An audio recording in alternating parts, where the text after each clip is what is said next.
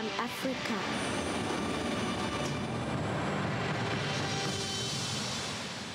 Ladies and gentlemen, please welcome curator, the Innovation Hangar, Dan Shine. Good morning. How are you? Uh, thank you so much for being here, especially very early on the last day of uh, this great conference. Um, you all get bonus points, and you'll find a prize underneath your seat if you look for it. Um, there's at least one prize. Nobody's even trying. Okay.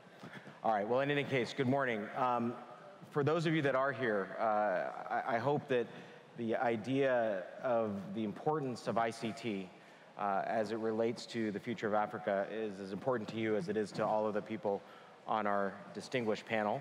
Um, I would say distinguished, but also uh, uh, hardened and weathered and worn because there have been so many tries and failures uh, with regard to the deployment of ICT.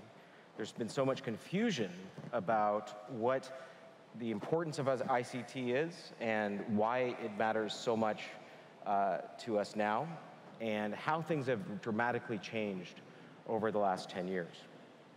So over the next impossible 45 or so minutes, uh, we will try to uh, address the question of what has come before, what has failed, uh, and what are the hopes for the future uh, from people that have truly had the experience of being uh, a distinct part of it. So very briefly, I'll, I'll, I'll do introductions. Uh, just to my left is Sophia Bekele, uh, who is the CEO of CBS International USA. Uh, but very importantly, she has had many hats, and she's also the executive director of the DCA Trust and the founder of the Yes to Dot Africa campaign.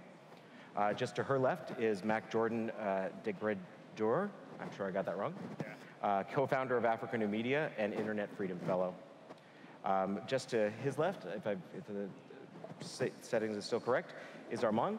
And uh, Armand is the Director General of the uh, Economy Numérique of Gabon. And uh, uh the, the, presentation that you just saw on the screen was uh, from his division.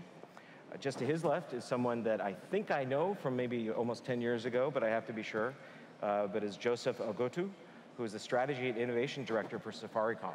And I think the word innovation is especially important in that context. Uh, and just to his uh, left is Yaw Owusu, who's the managing director of the Ghana Cyber City of Ghana, somebody who's intimately involved in sort of the next phase of what will happen with regard to ICT. So thank you all for being here. Uh, and uh, I think our intention uh, is to sort of get into uh, where we are now and what has changed and to try to keep it as a lively conversation, which I think will be especially important for our audience. Um, and uh, I will um, try to keep my remarks brief. The one thing that came to my mind as I thought about this session was a conversation that I had with a man named Jim Wolfensohn. And for those that don't know, Jim Wolfensohn was uh, a very highly regarded uh, uh, member, or excuse me, leader of the World Bank. And when I was doing uh, ICT implementation uh, last 10 years ago, we talked about what was to come. And his comment, frankly, was if you give people that are living on $3 a day internet access and come back in two years, you will have a lot of people living on $3 a day that know a lot of things. His point was that unless you come up with a comprehensive solution, unless you have a purpose, and unless you have an idea of where you want things to be and what you want people to achieve through ICT. And unless you dedicate and, and develop your solutions very specifically for a purpose, you won't get very far. In 2004, uh, I was involved in the first ICT uh, deployment in uh, the, my organization did at the time in Diepsloot in Johannesburg.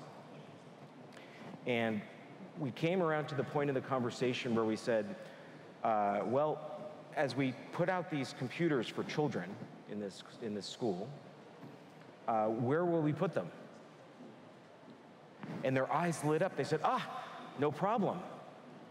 And the principal, the head of school, uh, Veronica Kwambo, uh, asked uh, uh, someone else who asked someone else, and they had a key and with the key, they took me to a room and they unlocked the room. And inside the room was a set of dusty computers that were not maintained, that were stacked up on the floor, that were largely open, uh, not contained. And the message was, we've tried this before. We've tried, you know, bringing ICT to our students before, and because it wasn't a comprehensive solution, it didn't make it. So what I'd like to discuss today uh, and, and uh, make available for conversation uh, is the idea of what's happened in the last 10 years, what can we do differently, uh, and what are the biggest examples that you can provide of where ICTs have made a substantial change, uh, almost such an extraordinary change that the imperative to continue is so very strong. So uh, with that, um, I, I, think I would like to, because I've, I, I, have some experience with Joseph, and because I think um, there is such a strong history, or excuse me, strong importance, as we all know, from all the people that are holding up their smartphones taking pictures right now, that mobile is extremely important. And 10 years ago, we did not have the mobile opportunities that we have today. Uh, 10 years ago, penetration of internet access in Africa was 1%. Uh, the world population was 9%. So, Joseph, what is the most uh, exciting development or trend that you're seeing with regard to uptake? We've talked about uh, you know, the fact that there's going to be half a billion smartphones, but that really doesn't mean too much unless we really talk about how that's changing people's lives. Yes. Um, over the last 10 years, uh, as you've rightly pointed out, I think mobile, penetra mobile penetration has really grown. Um, um, you know, depending on which figures you look look at, you we are doing at about 600 to 700, uh, 600 million to 700 million uh, mobile phones that are now available in Africa. So the fastest growth of mobile phone penetration is actually happening here in Africa. Now, um, what has changed significantly, because it's not just about having the mobile phone, but what the mobile phone can do for you. And I want to argue here that uh, we are developing what we call a connected society. Why is it a connected society? It's a connected society because with a mobile phone, people can do communicate. But secondly, we are having data-enabled phones. So people are having their first internet experience using the mobile phone. In my country, for instance, uh, we are doing about 10,000 new people every day having the internet experience on their mobile phone. And I think that is significant. In addition to that, um, because they now, we now have value added on top of the mobile phone, we now have uh, mobile payments available on the mobile phones, and that is making a huge difference in people's lives. In my country, we launched the M-Pesa in 2007. Today, seven years after that, out of a subscriber base of 21 million, 19 million are registered on M-Pesa. So it means, therefore, that even though they may not have bank accounts, the mobile phone is enabling them to be connected to the financial system.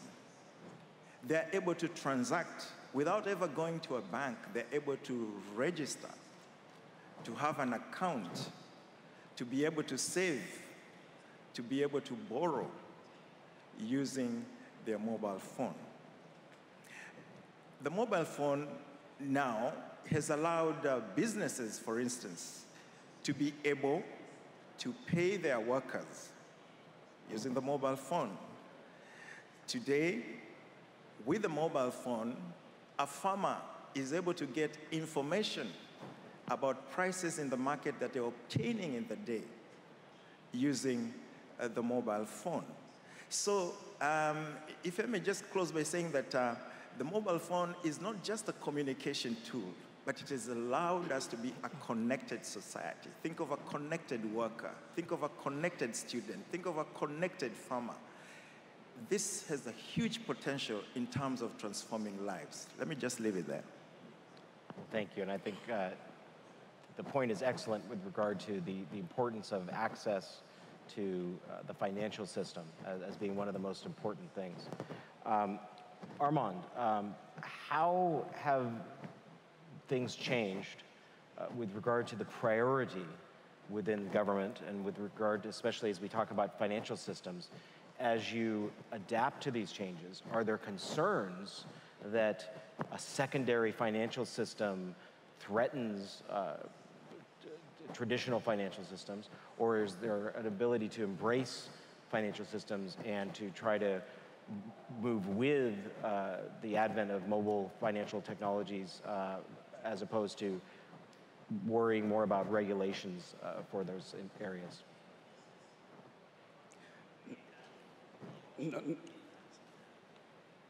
Okay, nous mettons en place.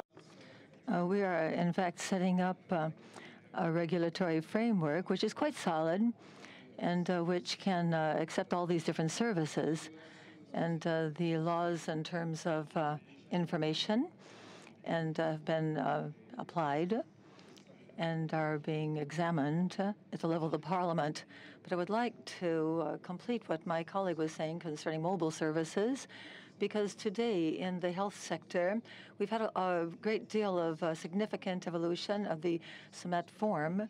In other words, we have a, like an intelligent stethoscope uh, from which we can uh, simply uh, look into the chest of someone by placing something on the chest, and we can get all the different information from that person's health and send it to a, a central data center uh, so that the um, doctor, whether he's in the major city or, or in another village or city, he can actually collect all that information concerning the person's health and give him a, a prescription for his health. We also have an innovative project uh, called Gabon uh, Numeric or Digital Village, and uh, we use this in the different rural villages. It's called an MF. It's got an educational system, in which also permits uh, the uh, local populations to have uh, electricity through a solar uh, energy system. We also have a cloud system, which allows uh, for the rural populations to be able to learn the different vernacular languages and also to receive in the local languages different information which is sent to them digitally. Educational systems. A follow-on question. Uh, what is the target age group that you're focused on to provide these tools in this education? Does it, is, it, is it the earliest learners or is it uh, people that are ready to move on to vocational roles following, uh, following high school or, or, or advanced school? Alors, well, everything is included in this uh, very big program. We have the youngest uh, who are uh, included in the digital uh, programs. And then also in the major cities, we have an educational program. And then, of course, in the uh, rural areas, we have another program called M Education. And uh, concerning the older people who are already included in professional systems, we've developed different learning programs and of course, we also have incubators. These are called startups and small and medium-sized businesses in order to uh, create uh, different uh, uh relationships between the university and small businesses. And uh, we're hoping to encourage those small businesses through that program. Uh, perhaps to Yaw, who has been very involved in, in sort of the, the advancement of programs related to innovation and entrepreneurship. Um, how are things going in Ghana? And, and as you describe what's happening, what are the uh, opportunities for scale? Um, uh, and you know, we talked earlier about the notion of contiguous countries and what the next country over is doing. How do we break through that and get to the point where things that are being done in one place that are best practices can spread more rapidly? Okay, sure. Okay, um, uh, let me continue from where uh, Joseph left off with respect to uh, how Africans are using innovation to change uh, lives, you know, from the grassroots. According to researchers, up to as many as 30% uh, of all drugs sold in the market in Africa are counterfeit or fake.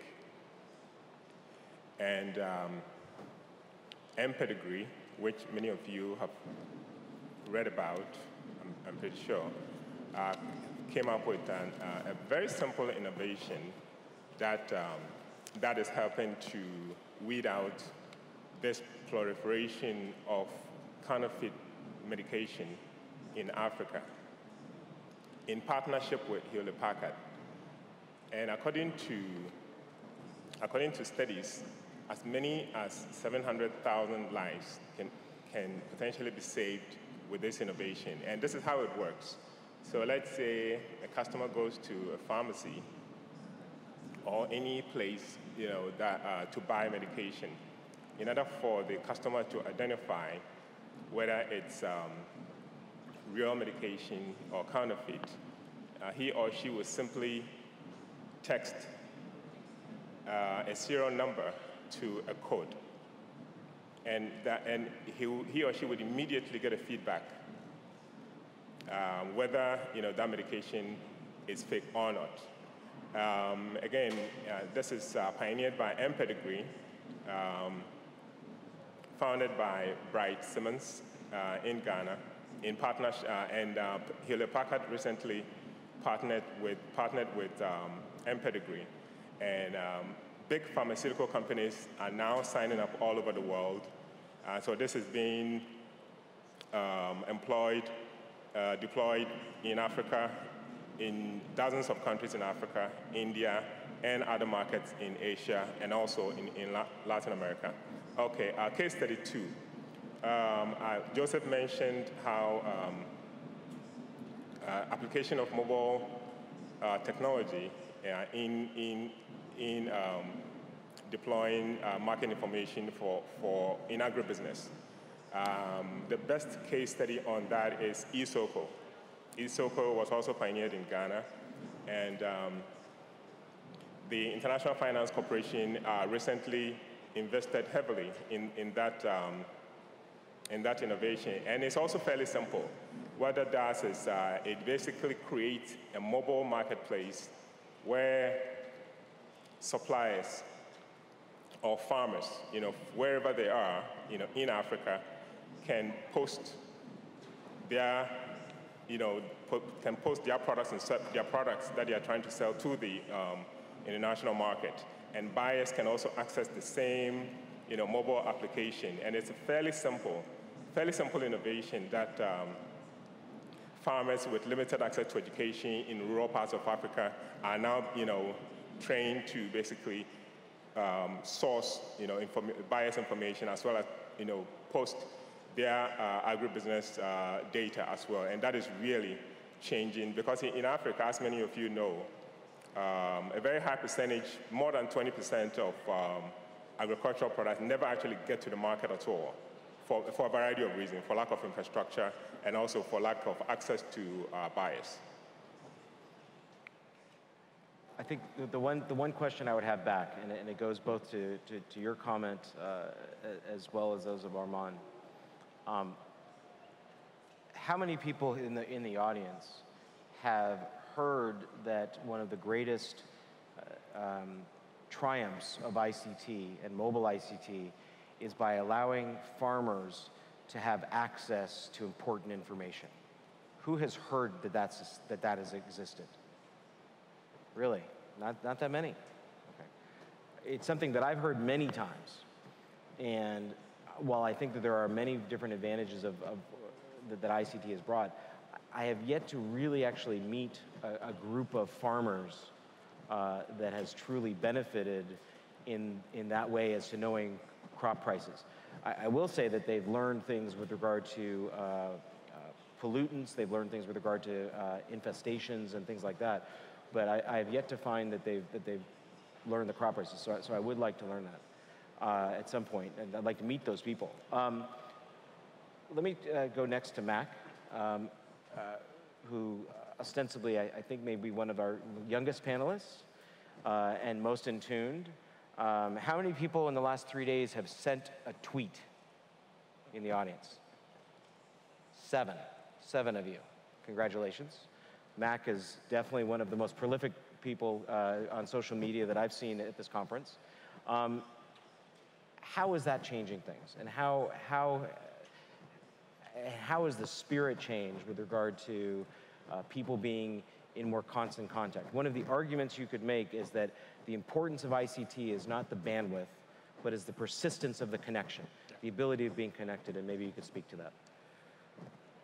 Um, th thank you so much for that compliment. Um, so I come from an area where young people are striving day in, day out to, um, to change the way society see um, young people. I mean, young people like myself are changing the game where we are creating jobs for ourselves using today's modern technology and more. I mean, go across the continent from east to west, let's say from Accra to Lagos to Nairobi to um, Dar es Salaam, young people are working in hubs where they are being mentored by professionals from different corporations to develop the next application game changers. These are not just applications for making money, the application being developed to solve local problems. I mean, a lot have been said about farming, about health, about even mobile payment and all of that. But let's come back to, to our own local setting. How is how are, we, how are we using internet? How are we using the infrastructure we have? Are we improving upon those infrastructures we have? I'm not sure we are doing that. I mean, in Ghana, for instance, we have a high mobile penetration, which is about 100 plus percent. That is mobile penetration. Uh, mobile internet is below 50%, right? But broadband penetration is below 20%. Women are not being factored into all of these considerations. I mean, a, a lot of talk goes on and on, and I feel sad because the competition is not driven around everybody. It's just driven around, male. I mean, tech, tech is very dominated by male, but it is about time we, we focus on bringing women on board so that they can also learn from that whole aspect. We have fashion designers among us who want to use technology to promote their goods. Are they left behind? Social media is, is opening a lot of opportunity for young people out there. It's about time government meets with young people to actually assimilate how technology can improve upon their lives and also change the game of, uh, from unemployment to they becoming self-employed. That is my opinion. Important. I'm, glad, I'm very glad you brought up the issue of gender uh, and gender equity because I, I, think it is, uh, it's one of the promises of, of uh, the impl you know, implementation of ICT. There's been many discussions that, uh, that, the, that the best uptake of ICT has often been by, by women in communities. Um, I've seen it happen sometimes, but, uh, but not always. But I, but I think there is no question that the future, uh, the, you know, as, as some different programs have, have suggested, that, you know, the future is in the hand of a girl uh, at this point. So the question is how we, how we increase that, and maybe we could, we could talk about that a little bit more. Um, I want to turn it over now to Sophia, uh, uh who, along with y'all, and, and in fact, a number of you, but has had um, probably one of the most important things that you can have in this, in this, uh, in this space uh, is, the, is the notion of perspective. The fact that you've had the chance to, to be in, in other environments and to, and to run other organizations and to hear, hear the, the thoughts and, and uh, views of, of people from a business standpoint with regard to the, the, the future and the priority, um, but also a great passion for, for making things happen uh, in, the, in, in the continent. So maybe you'd like to talk about that a little bit. Thank you, Dan. Um, first, let me uh, say thank you for that uh, great introduction at the beginning on the status of ICT in Africa. And I would like to thank you for bringing the issue of gender, which is very dear to me, and um, uh, something I could um, say a few things about. Um, I've been in the technology business for nearly a couple of decades and um, started, I'm a diaspora African. I've come back to the continent and I have watched the ICT sector in the, from the 90s to the 2000 grow very, very rapidly with the implementation of fiber optics.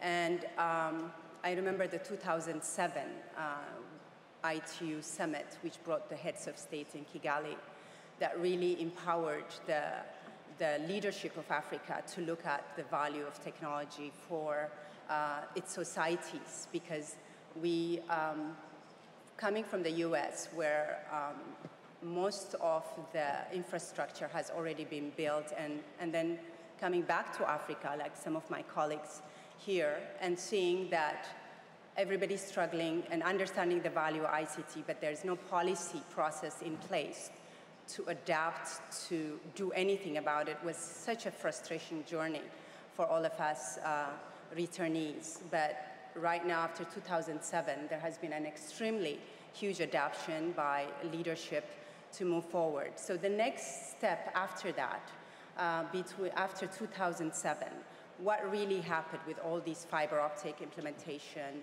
west, east, north, and south, uh, people didn't know what to do with, um, with uh, what else can we do with the fiber implementation. So the, the three key things that I would like to uh, share and, and take away from this forum is innovation and profitability. So first we have to innovate, and how do we turn that into profit so that people would benefit? Uh, how do we monetize the infrastructure? So there could be more entrepreneurship, uh, and, and that's one of the key. And so a lot has not been done in the rural areas, for example. There, some countries are adapting a rural development strategy to include those that are using mobile because fiber does not reach the rural areas. So most 90% of African societies have now adapted to the mobile use. And so, like my colleague Joe has said, a lot of innovation has started with Safaricom, which is being adapted all over. But there is that innovation, but how do you turn it into a profitable enterprise for young entrepreneurs and any other entrepreneur to want to see the internet as a vehicle to actually assist them to improve their lives.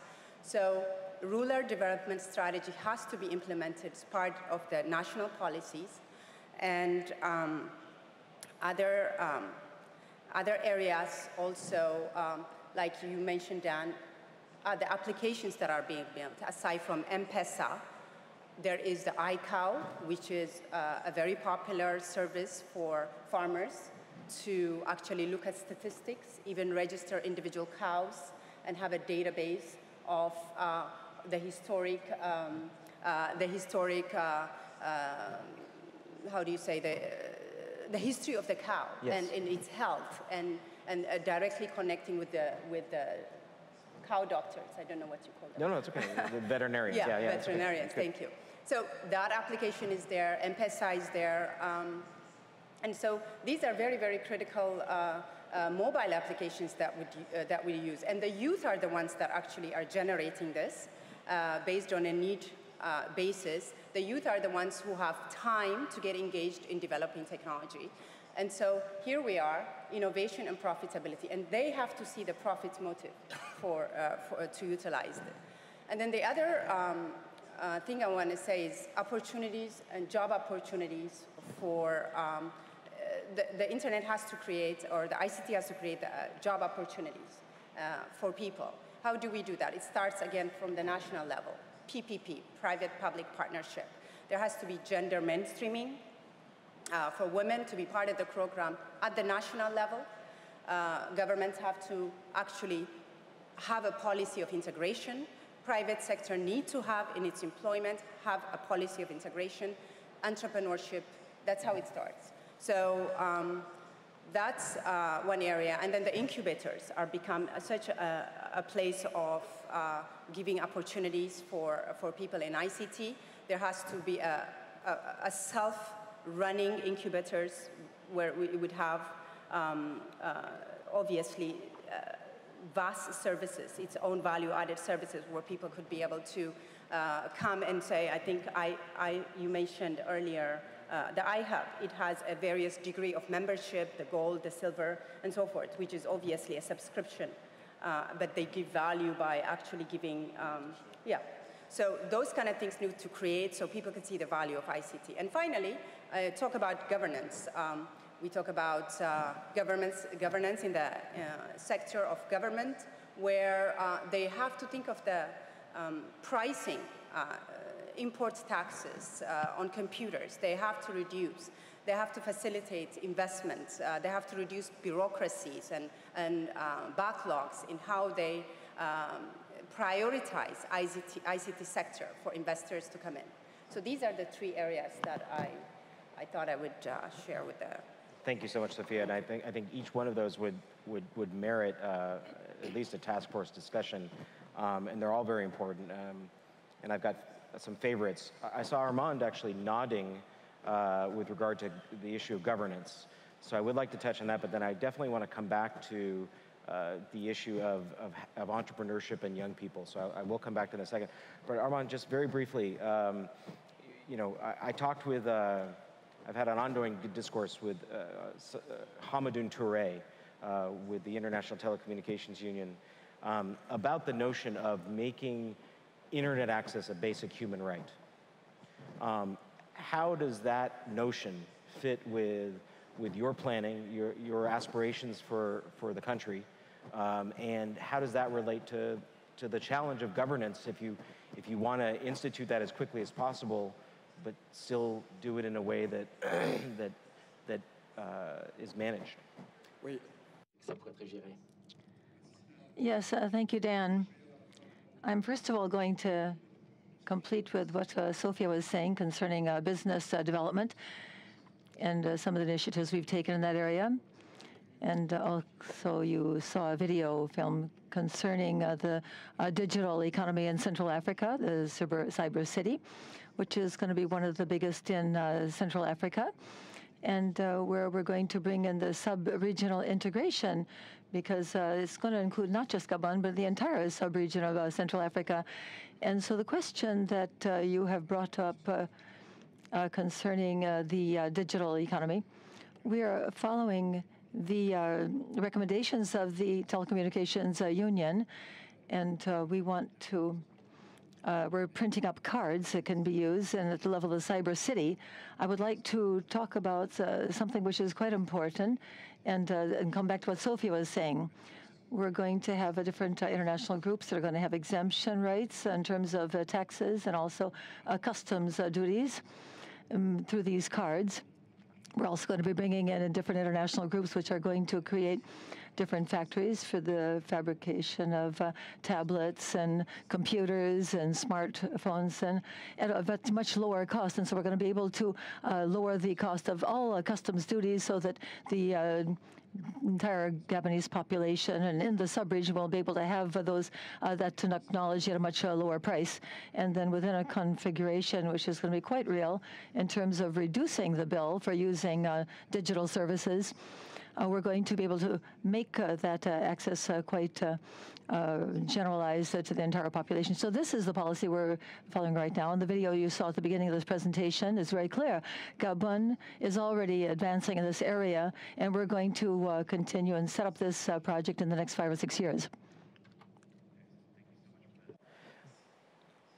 to one of Sophia's other points, um, 10 years ago, some of the greatest entrepreneurial ideas that were coming out were ways to overcome the question of access, the, the ability of getting the last mile, being, being able to deliver content and, and, and uh, capabilities to people that were uh, in rural areas. Um, I had the opportunity to talk with Richard this morning, and hopefully many of you uh, were here yesterday to hear about the announcement of the African Entrepreneurial Award that will begin next year, which I think is so important, um, uh, along with between between Richard's organization and, and Le Point.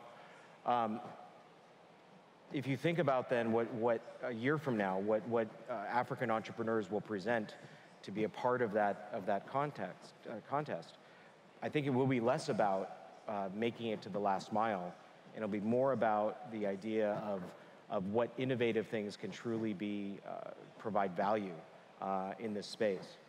Along those lines, I'd like to open it up to the group um, because I'd like to discuss the changing of our generations.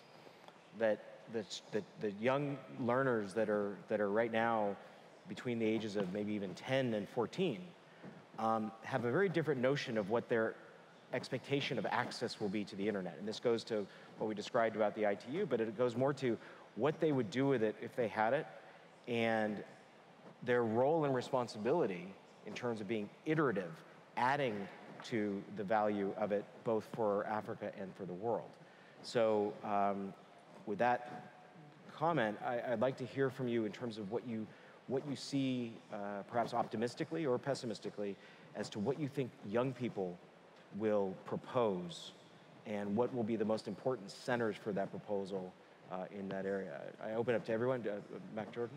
Okay. Um, I'm going to take it from a point of view where we need more investor-driven communities around Africa where um, people from, I mean, countries in Africa um, who have the potential to invest in young people should be able to um, do that. Because what, what I see happening across, across the, the region is where young people are able to build community, I mean, build startups, but they don't have the funding to push to the next level. So they, they then go ahead to um, seek funding from international organizations and more. Meanwhile, there are people within their own communities that can invest into them and help them develop that application to the next level. So what we, what, what we are facing in Africa currently is lack of VC networks. So if you're able to have, let's say, a VC network in East Africa, focused on the East African community, a VC network in West Africa, focused on the West African community, and even in Central Africa I mean, community, it will push young people to like, oh, go, I have an idea. Let me work on this idea and probably pitch to a VC to see what will be the outcome aside even the VC, we should, we should buy into the whole idea of incubators. Um, I was happy when I heard that there, there's an agreement signed for, with Gabon to have an SME incubator for, to promote entrepreneurship in Gabon. It's a good idea. This, uh, this idea should be replicated across the country, I mean, across the, the, the continent where wherever you go, you, you'll be happy to see young people working and using ICT to develop the next tools that will change the game. I mean, take for instance, there's, a, there's an application developed in Ghana called Empower. Um, a lot of people seem to forget about the, uh, the blue collar job seekers, the painters, the, the cleaners, and all of that. These people need jobs. I mean, when you go to the major cities, you see posters about if you need a painter, call me. Somebody's been able to develop an application that runs on a mobile, I mean, a normal um, feature phone that makes you register to be part of the network. If somebody need a painter, that person would just call you up and um, offer you a job, and right there you have a job. This application is being replicated in Kenya, in Tanzania, and in South Africa, and it is working. I'm pretty sure if something developed here in, in, in Gabon, it will be used by all and uh, it will go a long way. So let's focus on the VC. Let's let our own people support our own ideas. We shouldn't wait for NGOs or international donors to come support ideas being developed locally. Thank you. Okay, let, let me. So I do want to, yeah, I'm going to actually get you, right. give you that chance in just one second. So I, I do want to get actually the questions from the audience in a minute. But what I was actually, I was going to direct to, to you just now. Okay. In terms of what you think, and you can answer this as part of your yeah, question, yeah, and yeah. let's keep it short so we can get to other questions. But what, what, is, what is the most exciting thing that has made you sit back in your seat with regard to ICT and the entrepreneurs that you see coming through coming through Ghana and the incubators? What's the, what's the one thing that you've looked at that said, oh my gosh, this is a game changer? Um, rephrase the question. One thing, the most exciting what, thing. What's the most exciting thing that you've seen from an entrepreneur in the last year that has made you think this will be successful, this is going to change lives? Be very exciting. Oh, okay. Uh, that's pretty easy. The, the, the development, the upcoming development of the Ghana Cyber City is sitting right next to the University of Ghana, which has a population of uh, 30,000. Um, what I, we have talked about um, incubation. So incubation is going to be the biggest focus of this um, in, um, venture. The, the project in Gabon is situated on an island, but we are bringing it to the people. It's right next to the, where the students you know, need incubation facilities. So, but I, I, get it. So I, I, I, get the idea that the incubation is important. But so far, if you had to explain to somebody why incubation is important and could give them one example of someone that's come through, what, what's the solution? What's the, what, what, has, what is the service or product that one person has made that's blown you away? Oh, okay. Actually, there are many. You know, not, not just one. There's I've talked about uh, mPedigree. Pick one. Uh, I'll take mPedigree, which potentially can save about 700,000 lives in, okay. in Africa. That's a great answer. Yeah. All right. So, uh, and, I, and, I, think magnitude is very important. Uh, sustainability is very important along those lines. Um, what I'd like to do with some of our remaining time, um, I know that there are a number of people that are, that are passionate about ICT in the audience. I'm already seeing some hands. So if we could have our folks uh, with the, uh, the paddles come towards them. Um, please ask your questions to any of the audience. But I think, you know, there's no question that this is a, as we arrange that, this is a golden time um, where young people have an assumption that they're going to have access. Uh, people now do not question whether there should be a focus on ICT, but it's a question of how much and why is it not enough. Um, so, so we're, you know, what are the outcomes as we as we ask these questions for the next five years? In the front here, I think was the first question. Good morning. Good morning, and thank you very much. Two things made me stand up. Okay. Owusu. Counterfeit drugs.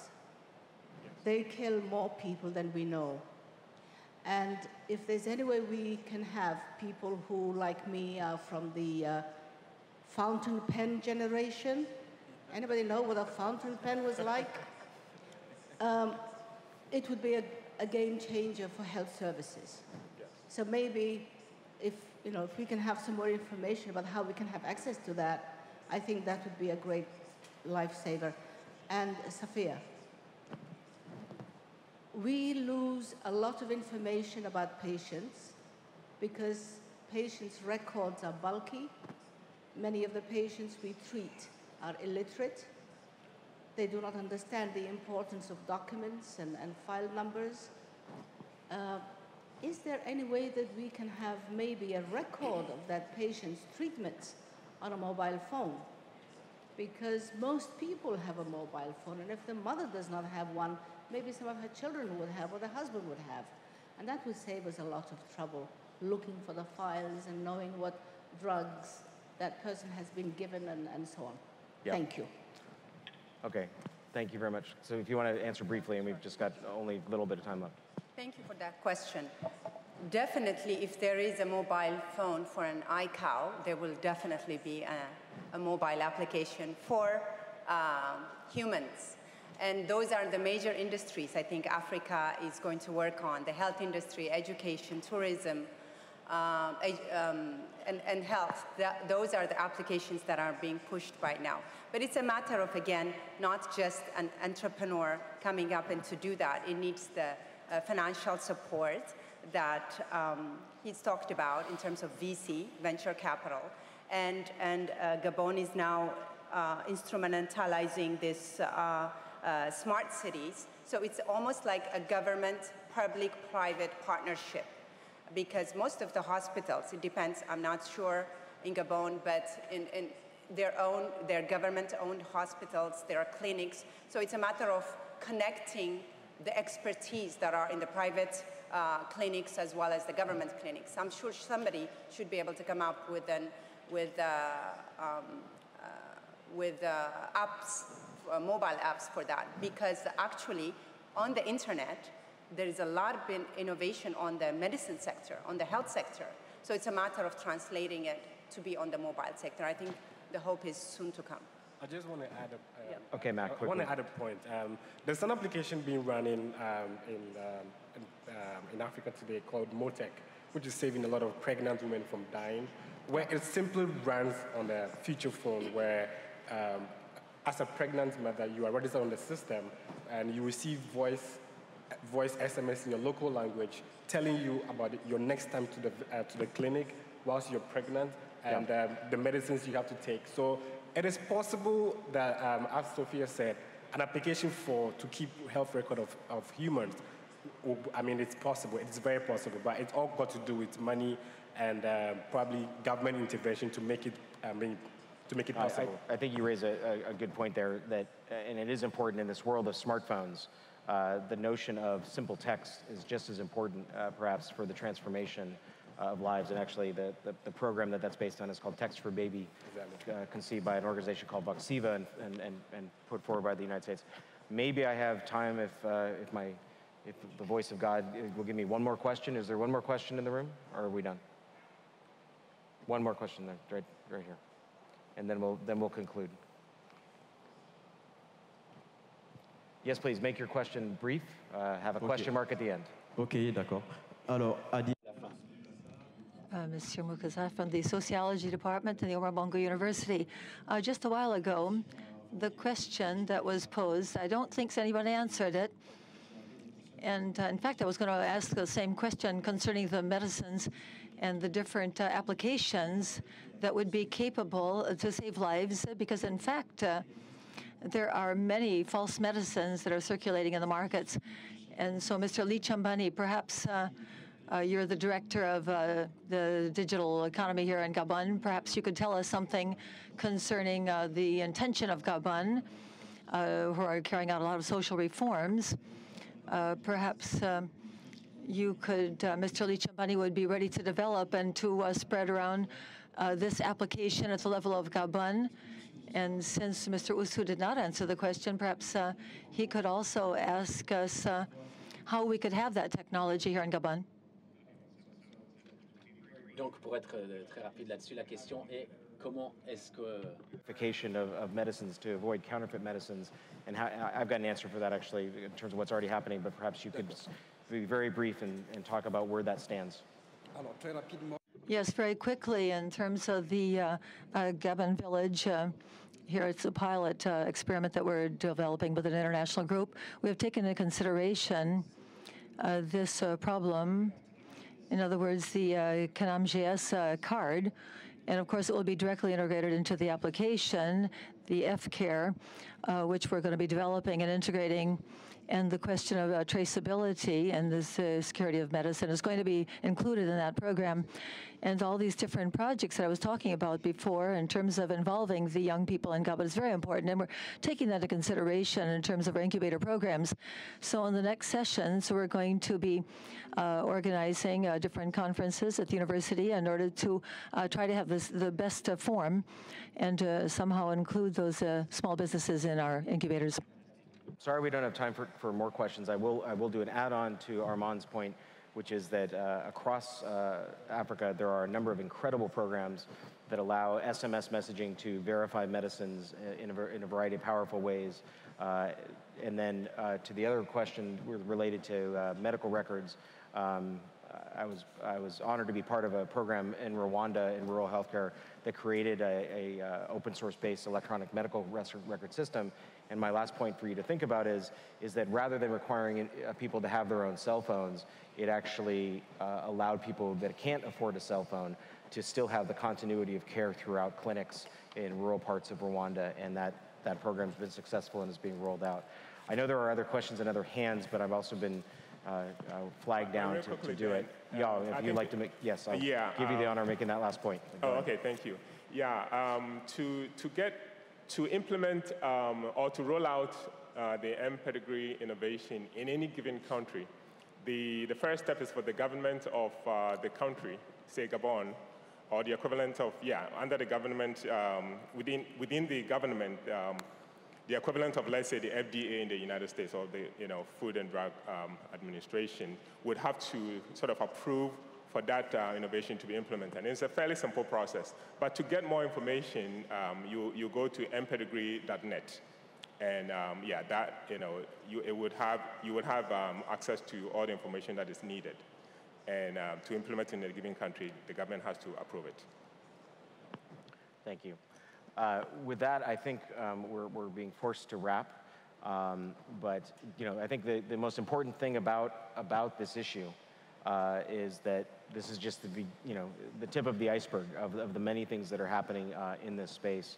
Um, and obviously, whether it's the, the involvement of government in prioritization or the involvement of entrepreneurs in accelerating innovation um, or multinationals that are, that are uh, recognizing the importance of ICT and actually, whether they're diaspora or, or not, uh, returning the, the, the, the, technologies and capabilities back to the, to the continent um, I think it is safe to say that uh, we may be impatient, but we are optimistic uh, that these changes are, are coming and, and changing things uh, in a very important and tangible, uh, measurable way. So I'd like to uh, thank very much my panel for, for, for being here, and um, I think hopefully for today this will just merely continue uh, or begin the discussion um, of the importance of this, of this great topic. So thank you very much.